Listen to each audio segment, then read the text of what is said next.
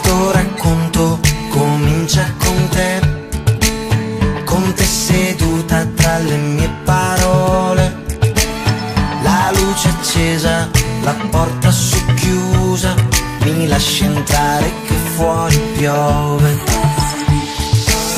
guardando il mondo da un'altra distanza, tra i giorni alla